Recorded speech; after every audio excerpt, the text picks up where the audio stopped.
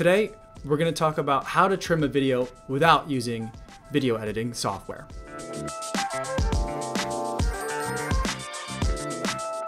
It used to be that in order to trim a video down from say a 30 minute surveillance camera video down to a 30 second clip, you needed either special video editing software or you had to send it out to a vendor. But now with Windows 8 or later, you can do that easily within Windows using tools that you already have. Now, first note, uh, we got a different background going on over here. We're working on it a little bit. The camera angle's a little bit different here, uh, and that's because we're still working on it. So I know we're kind of looking up a little bit, and that might be a little bit awkward. We're working on it. This is not the final setup, but this is pretty close, at least close enough for me to shoot a video for this week, and I wanted to make sure I got something out to you guys. Uh, so please uh, bear with me. It's still kind of under construction.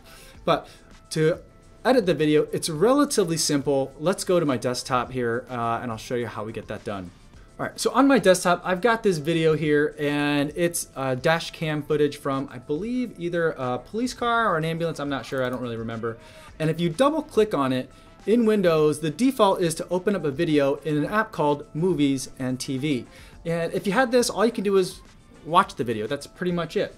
Let's close this real quick though. And uh, let's instead open it with the app that we really want to be working with, which is called Photos. So we'll right click, go to open with, and it should be one of the options that appears right on your computer if you have Windows 8 or later. So click Window Photos, and now when you do that, you'll have the option in the upper right hand corner. We're looking at the same video. The video plays just fine.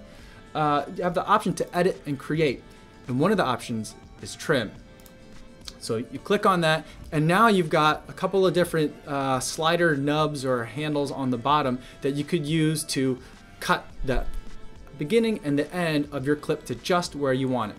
So let's say this uh, uh, was video camera footage from an incident involving a bicycle, and so we'll kind of cut right to the part where the vehicle approaches the scene of the accident.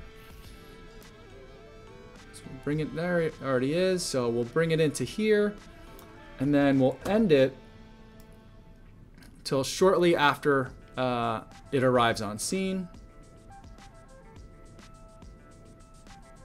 Right? And it told me as I was uh, clicking before I released that I, it would have gone to a total of a 15 second clip, which the entire video is 27 minutes long, so it's a lot easier to manage. So we'll do that. And then in the upper right hand corner, you have the option to save as or cancel it if you don't want to do anything with it. And it always makes you save as rather than write over the original footage, which is also nice. So we'll just save it as the original file name and it adds the suffix trim to it. And then it takes some time for it to chop off the ends that you don't want. And now what I have is a 15 second video that has just the portion of the video that I'm looking for. It's gonna send the new save as image uh, video into pictures uh, in your computer by default, or you could tell it where to save it when you were choosing the file name. So here we go, I'm gonna open that up.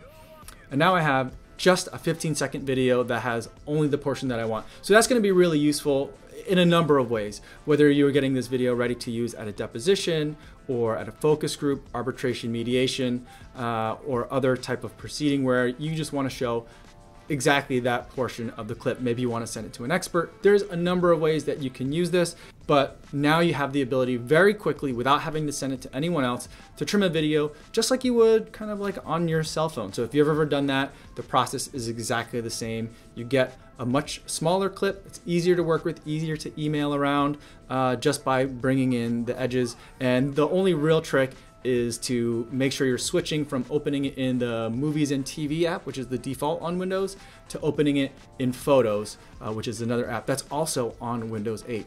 If you're a Mac person, you can do the same thing using QuickTime. You don't have to use QuickTime Pro. That's how you used to be able to do it. Um, even in newer Macs, you can use just the regular version of QuickTime.